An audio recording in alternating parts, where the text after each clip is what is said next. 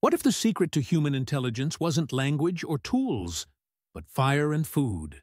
Humans are the only species that cooks meals daily, an act that transformed our evolution. Cooking unlocked hidden nutrients, making food easier to digest and freeing precious energy. Raw food diets burn through nearly 60% of daily energy just to digest. Cooked food slashes that cost to only 25%, leaving energy for something else, our growing brains. Around 1.9 million years ago, brain size exploded, right when cooking likely began. Cooking did more than feed brains.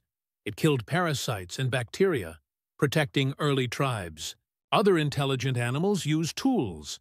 Chimps crack nuts, dolphins cooperate, but none master fire. Even elephants with big brains never cooked, leaving humans with a massive advantage.